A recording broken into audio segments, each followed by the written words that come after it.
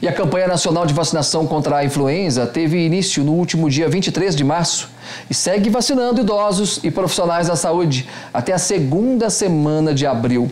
Segundo a Secretaria Municipal de Saúde, apenas os postos do Parque Pinheiros e no Kennedy 2 possuem as, do as doses da vacina. Só esses postos. Bom, o serviço de imunização estima um atendimento de mais de 24 mil pessoas nesta fase. Cerca de 20.600 idosos e 3.500 profissionais de saúde. Uma nova remessa da vacina deve chegar para a continuidade da campanha do município.